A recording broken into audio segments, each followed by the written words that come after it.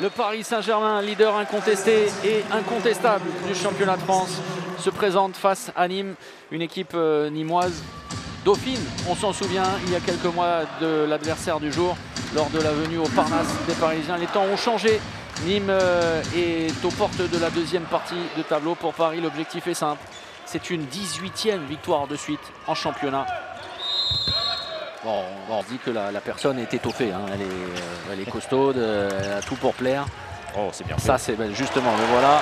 Pas de faute. Oh oui, oui, on va revoir tout ça. On va demander à Fred Pelfimière de nous mettre ça de côté. Et bravo, la part de Madame Keita qui va au bout de son idée, alors que Tom Poyer, de l'autre côté, réclamait une faute.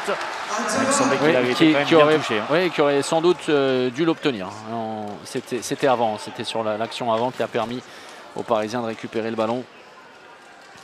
Et Ouais, regardez, merci hein, Fred. les oppositions. Et là, ce, ce qui peut lui être donné par son coach, et à juste titre. hein. Ouais, Et ouais, vraiment, en il est, ce, Ah oui. ce dont il Oui, était oui. capable. il est solide en défense, même si là, il est pris euh, sur le premier appui rapide de Luke Steins. Et également très efficace en attaque. Oh, dommage, dommage pour Quentin Dupuis qui n'a pas Oh, pris sa le chance. pastis, la spéciale de Yann Gentil qui a attrapé, gobé ce ballon de Gibernon jusqu'au bout dans l'intervalle. Et le Chabala déposé malgré la tentative d'intervention de Rémi Desbonnets. Paris est en train de dérouler et Franck Maurice ne s'y trompe pas. Oui, Il se il est il se altruiste. Oh, énorme. Camille Chirsa qui a mystifié Théodore Paul avec euh, ce Chabala, ce roucoulop presque, euh, alors que. Oui, bravo, Bien joué. bravo. Mais c'est bien, hein, vous parliez de à juste titre. Comme hier soir, euh, va c'est mieux de, de prendre un droitier. Voilà, voilà, parfait. On va en rester là, 20 à 12 en faveur du Paris Saint-Germain après les 30 premières minutes.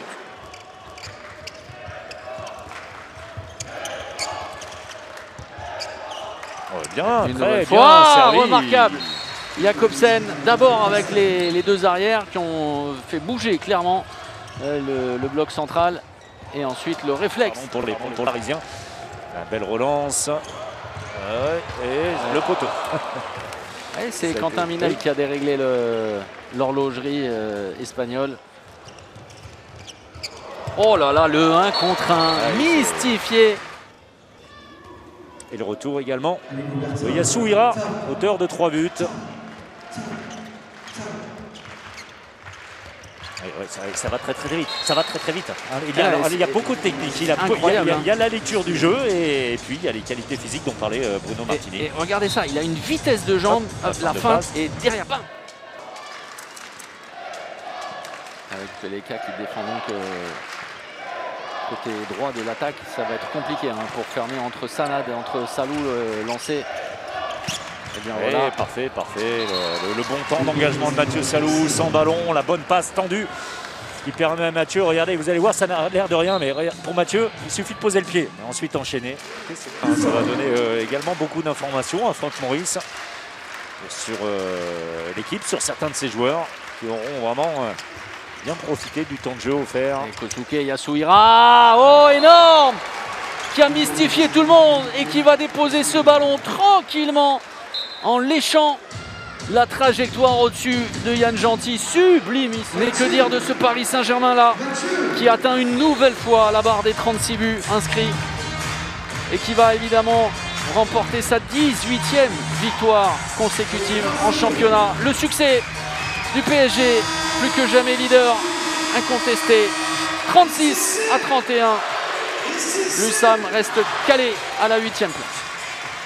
Voilà, Baptiste, on, on prend des nouvelles de votre nez parce qu'on a eu un petit peu peur pour, euh, pour vous dans- pendant cette seconde période. Ouais, J'ai juste pris euh, la tête du pivot euh, dans le nez, ça a un peu saigné, mais rien de grave normalement. Bon, ça va, on a, on a vu pire. Alors, euh, très belle seconde période euh, de, de la part des Nîmois.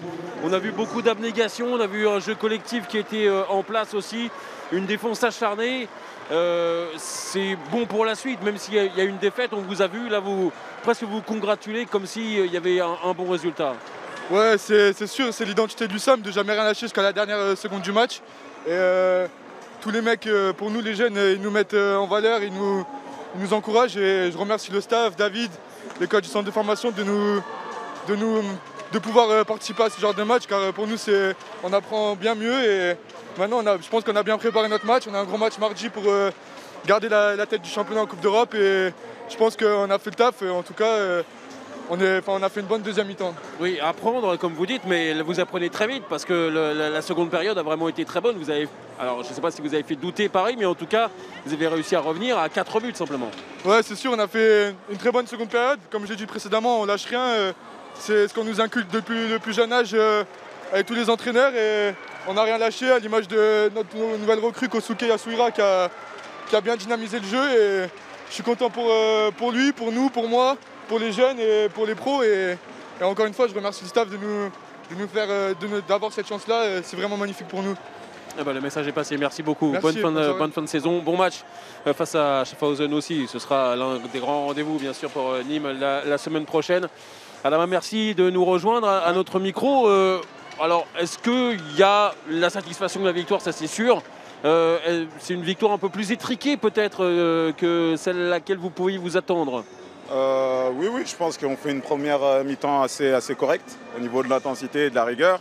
C'est vrai qu'en deuxième mi-temps, on a eu un peu de mal à, se remettre dedans dès le début, donc euh, ça a été un peu, un peu poussif.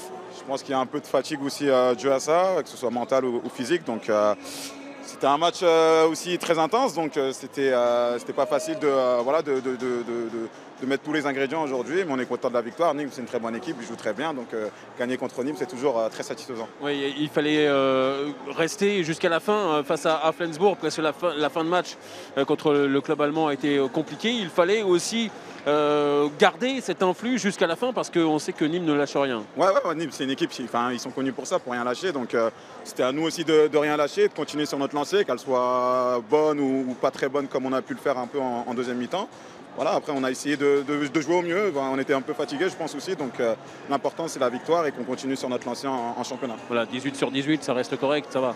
Oui, oui, on est très, on est très satisfait. Donc euh, le but c'est d'aller jusqu'au bout et après on verra, on comptera les points, on verra ce qu'on a fait de bien. Mais le but c'est euh, toujours de remporter le titre d'une manière ou d'une autre. Ça en fait deux de plus. Merci beaucoup. Merci, Merci Adama. Bonne suite de saison.